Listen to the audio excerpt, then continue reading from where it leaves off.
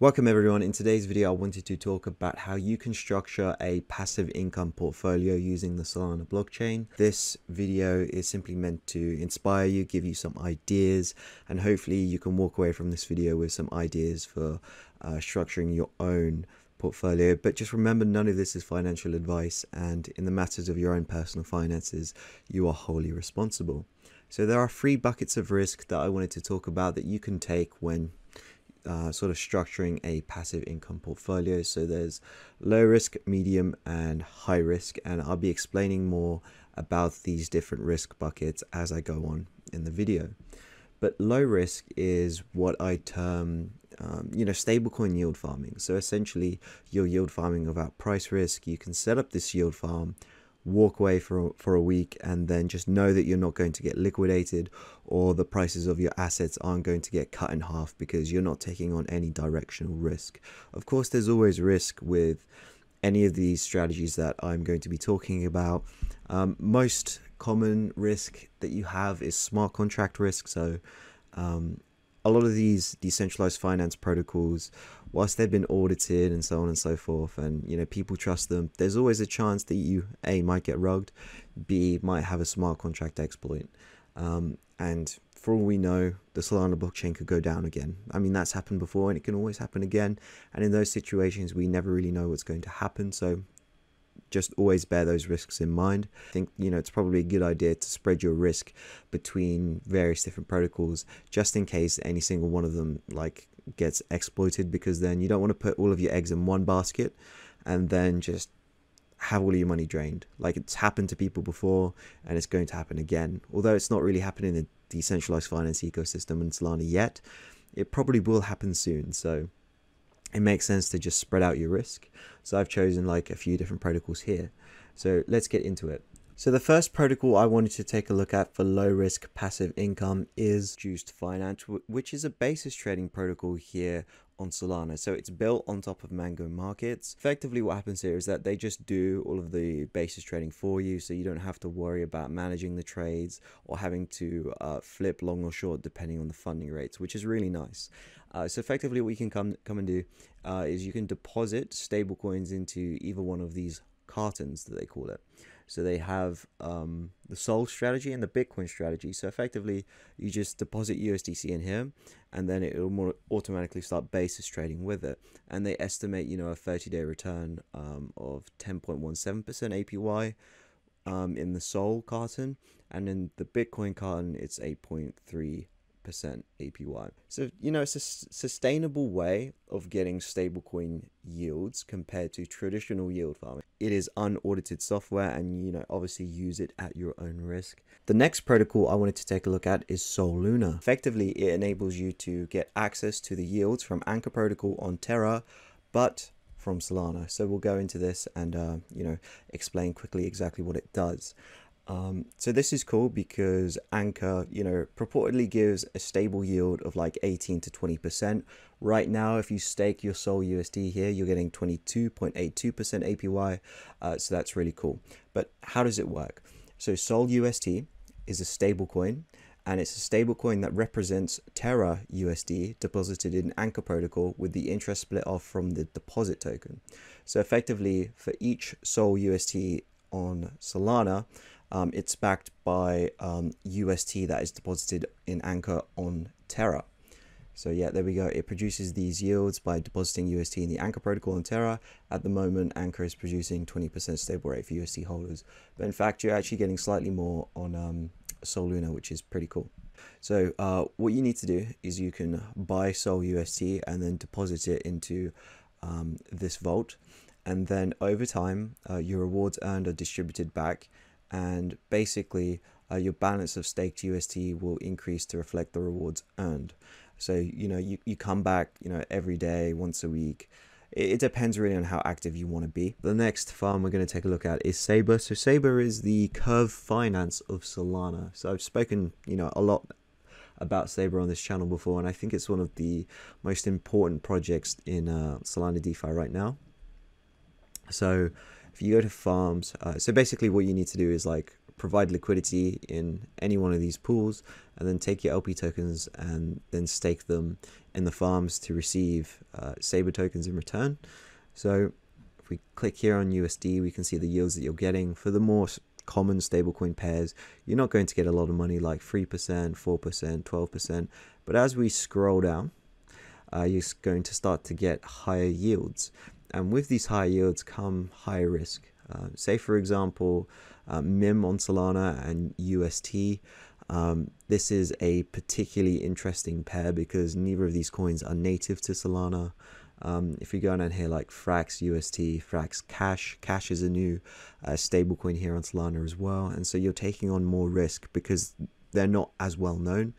So your your APY is going to be higher though, but I would still, uh, personally myself, my personal risk tolerance, um, I would risk um, the chance of cash failing for that uh, extra yield. But of course, you know, if, if you don't want to risk that, then you can obviously go ahead and go into any one of these other safer stable pools or ones that you trust. So let's now talk about the medium risk bucket that you can take, you know, when trying to generate passive income. So this can involve, you know, providing liquidity on non-stable pairs, and you are definitely subject to price risk here. Um, when we talk about medium risk, I'm talking about you know getting yields on some of your uh, blue chip assets. So Solana, for example, you're going to be taking a lot of price risk by uh, gaining yield on it. However, you can obviously experience a lot of price appreciation when uh, trying to get yield on your SOL as well. Additionally, you are going to you know have a possibility of liquidation. However, you know if if you play this correctly, then uh, you won't have to worry about it too much, but you are going to have to check out your positions every day to make sure they're correct and you're not in risk of getting liquidated.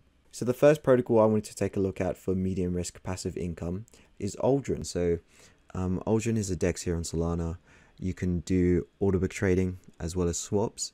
And as part of the uh, swap part of the platform, you can go ahead and LP in these pools. So if you go to pools and then go from Ultra and lead pools to stable pools, um, you can do stable swaps here between MSOL and SOL and USDC and USDT. If you LP in the MSOL SOL pool, you're currently getting 14.63% APR, which is fairly decent. And the next medium risk strategy that I wanted to talk about is uh, delta neutral yield farming.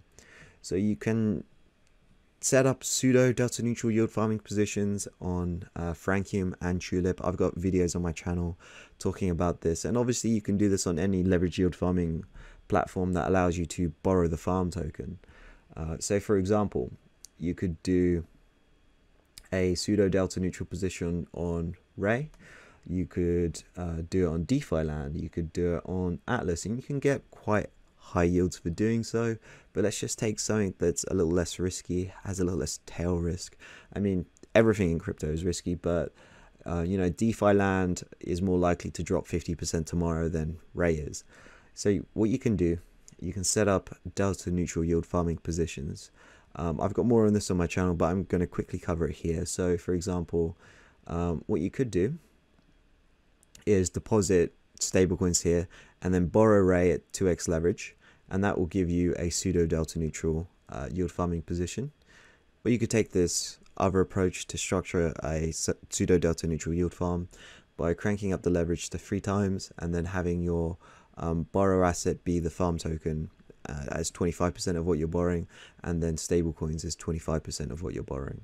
So let's talk about the high risk portion of this portfolio. What you're doing here, you could easily get liquidated. Um, you know, the projects you're invested in could easily go to zero and it could also be time consuming. So let's start first with Francium. So another leveraged yield farming protocol. Um, you can leveraged yield farm a ton of different things. As you can see here, the APYs are quite ridiculously high. So 183,000% APY on MBS USDC pair um, almost a 100,000% APY on stars. Allbridge is giving you 10,000%, Prism 6,000%. So that's, you know, quite good yields there. Now, one thing that you do have to, you know, especially be worried about when you're doing leverage yield farming is liquidation risk. Uh, so if you're 3x leverage yield farming MBS, for example, um, if that coin falls like 35% within the first day of you farming, then you're going to get liquidated. If it falls 40% within the first week, you're still going to get liquidated. So you just have to hope that where you bought is like up only or at least just going sideways. Now, another thing to consider is that the yield is going to drastically go down over time. Say, like a week ago, this number was a lot higher, and in a week's time, it's going to be a lot lower. It'll probably be below uh, 100,000 um, percent APY. So that's obviously something that you've got to be, wary of as well. So any calculations that you're doing about you know how much money you're potentially earning, you've just got to keep that um, in mind. Otherwise, you're going to be shocked at how little you're actually earning compared to what the numbers told you. And the next one I wanted to talk about was basis trading. So if you're not familiar with basis trading, I've talked about it to death on this channel before. So um, you know check check out my channel i've specifically named a couple videos talking about basis trading um, you can either use mango markets or drift to do this, but I think Mango Markets is probably the best place uh, due to the fact that you can deposit basically any collateral that you want here to trade against. So Mango, Bitcoin, ETH, SOL, stablecoins, Serum, Ray, COPE, FTT, MSOL, all collateral that you can deposit here and trade against. Um, so if you're not familiar with basis trading, basically it's the art of short selling the perpetual futures and then going long the um, underlying asset. So we'll take Mango Markets for example. Uh, the perpetual futures uh, funding rate here for going short will earn you 55.63% of your position a year. So when the funding rate is positive, uh, people who are long the perp are paying the shorts, and the people who are short the perp are getting paid by the longs. So what you can do to go delta neutral and do this basic and execute this basis trade is go short these perps and then go long Mango Spot. And what's nice about Mango Markets is that you can do it all in one platform and this will be the most capital efficient way that you can do this. So uh, you could, for example, buy $100 worth of Mango, deposit it into Mango Markets, and then use it as collateral to open up a $100 short on the Mango Markets uh, on the Mango perp contract. So effectively what you're doing there, you've created a delta neutral position because your longs balance out your shorts. So you've created a crypto dollar effectively that yields 55% APR. So that's really cool. You can actually do this trade and um, if you think about it, in, in TradFi, these are like insane rates. Um, but one thing you do have to note about doing this is that you have potential liquidation risk. I mean, this is crypto, anything can happen. And also the funding rates can change on a dime. So if you're not active or being able to go to your computer often and see what's going on, you might have the funding rates turn against you and you might be paying um, the longs if the funding rates go negative. So that's always something you've got to keep in mind as well. And you know, if you can automate a strategy like this, that would be ideal.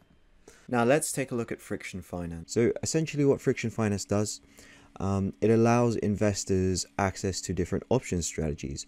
So for example, you'd be able to deposit your SOL into this covered call vault. They would take that SOL and then sell a covered call against it and the premiums that they generate from selling that covered call they would return to stakers so that's currently returning about 46% apy now these numbers will fluctuate over time but we've also got 40% on MSOL, 193% on Saber, 84% on FTT, and 113% APY on your Luna. So if you're not familiar with how covered calls work, I will quickly go into it in this video and cover a few examples, but I recommend you watch a couple of videos just to get familiarized with what's going on because um, once you understand how covered calls work and also uh, how cash secured puts work, you'll be more confident in using friktion finance and you'll be more aware of the risks when actually depositing your um, precious money into friktion and all of the other structured product uh, protocols here on Solana uh, as well. So Friktion Finance put out an excellent article on their Medium just talking about what covered calls are and giving a few examples. So I'll read this out and I think it's quite good to see the example so you can know exactly what might happen. So what is a covered call and what makes it a good income strategy? So a covered call strategy involves generating passive yield from selling call options on an asset that you own, in this example, SOL. In exchange for earning the premium from the option buyer, the seller gives away the right to purchase the asset and agreed upon strike price. It's important to remember that the strategy doesn't utilize any leverage or any token emissions. So that's interesting to note because a lot of the yield farming strategies out there right now, they will trend towards zero over time because they often use token emissions. Say for example you wanted you wanted to get yield on your SOL, but you wanted to use Saber to do so. So you're LPing in the Saber pools. So whatever the yield is, it will trend towards zero over time as more and more people start LPing in that pool. And it will trend towards zero over time because there simply aren't enough tokens to sustain that high uh, APY. So covered calls is a sustainable way to generate yield. And in fact, in traditional finance, uh, they call yield farming essentially just selling options, right? Um, that's the original way of generating yield upon your assets. So let's jump into an example. So say uh, Sol is currently $200 and you deposited one Sol into a covered call vault strategy. And it writes a call option at a strike price of $220, which expires in one week. When you do that, you are able to collect $10, which is 0.05 SOL, or 5% in premium. So when you sell an option, you receive premium in return. So in this first scenario, SOL price hasn't changed by the time of the expiry and it's still at $200.